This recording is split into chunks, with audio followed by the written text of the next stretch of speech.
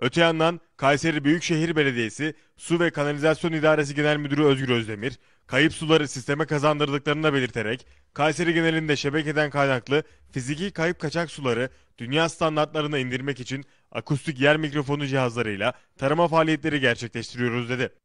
KASKİ Genel Müdürü Özdemir, 2019 yılında 11 bin kişinin bir yıllık su ihtiyacı olan 3 milyon lira değerindeki 800 bin metreküp su kaçağını yaptığımız titiz çalışmalar sonucunda önledik ifadelerini kullandı.